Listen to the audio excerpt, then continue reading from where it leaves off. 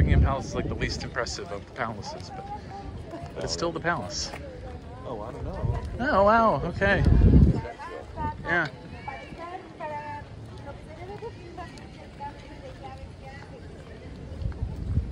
Yeah, it's impressive.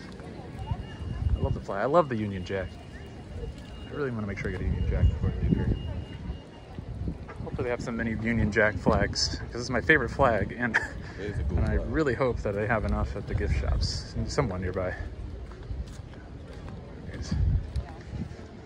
All right, we'll return. We're closer.